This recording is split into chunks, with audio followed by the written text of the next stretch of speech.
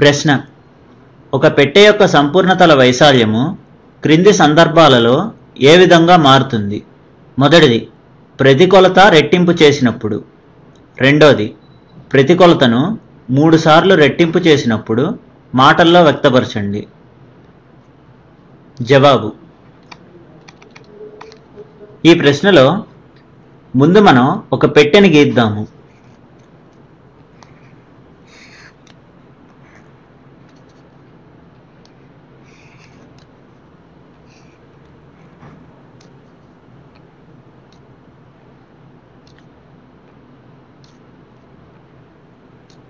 ఇది ఒక పెట్టెనే అనుకుందాము. ఈ పెట్టె ఏ ఆకారంలో ఉంది? దీర్ఘగణం యొక్క ఆకారంలో ఉంది. ఇది పొడవు. పొడవుని ఎల్ అని అనుకుందాము. వెడల్పుని బి అనుకుందాము. ఎత్తుని హెచ్ అని అనుకుందాము. పొడవు.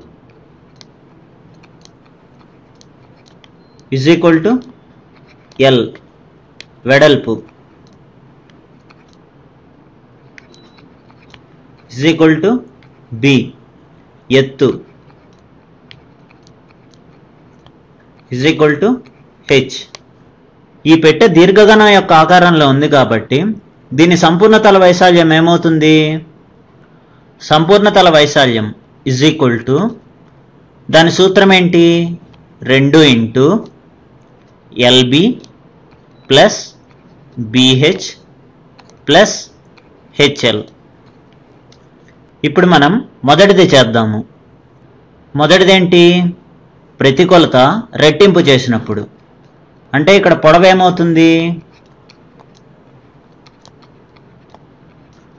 రెట్టింపు అంటే రెండు పెట్టి మల్టిప్లై చేసినప్పుడు. రెండు ఇంటూ ఎల్ అంటే రెండు ఎల్ అవుతుంది. అలాగే వెడల్పు రెండు బి అవుతుంది. ఎత్తు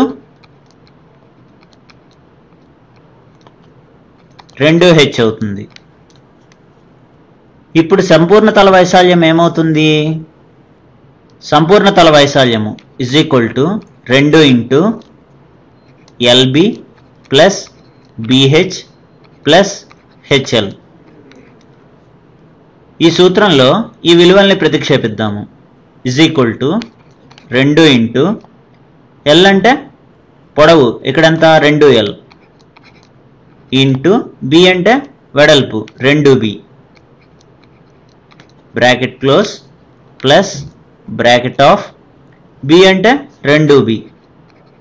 ఇంటూ హెచ్ అంటే ఎత్తు రెండు H.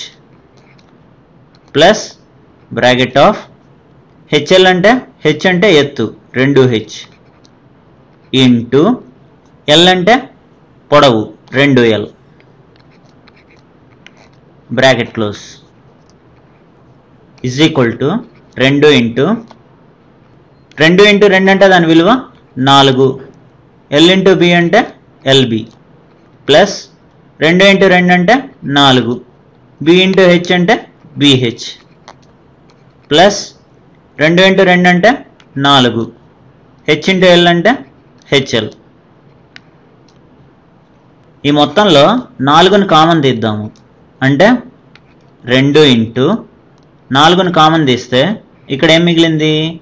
ఎల్బి మిగిలింది. ప్లస్ ఇక్కడ బిహెచ్ మిగిలింది. ప్లస్ ఇక్కడ హెచ్ఎల్ మిగిలింది.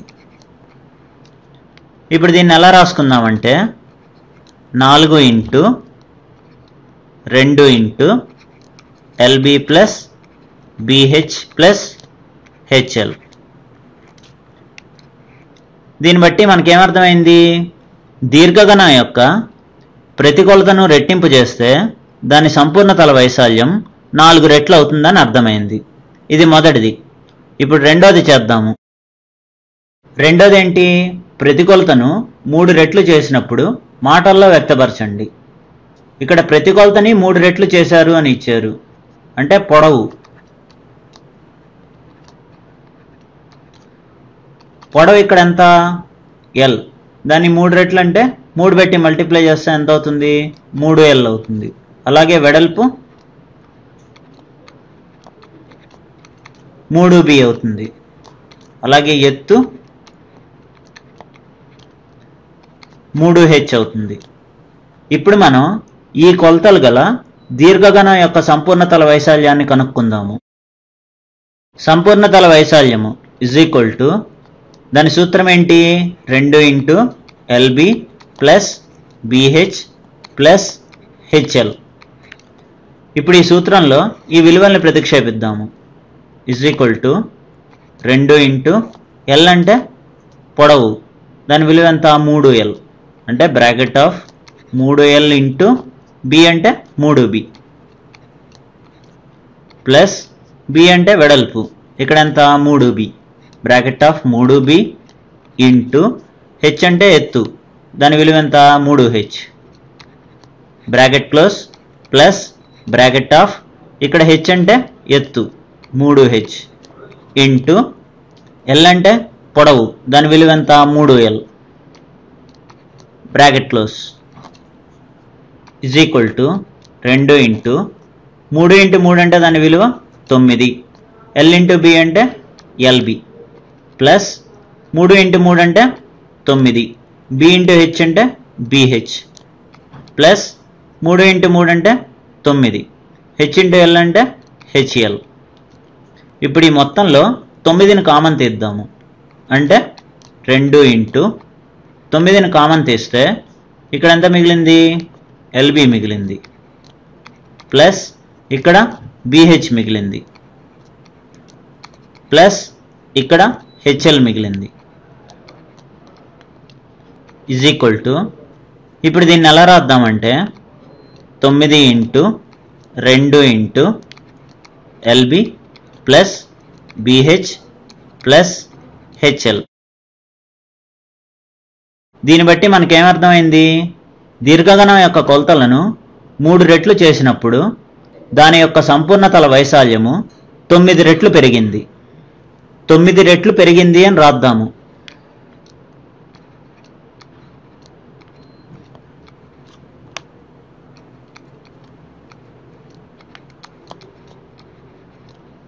ఇదే మనకు కావాల్సిన జవాబు.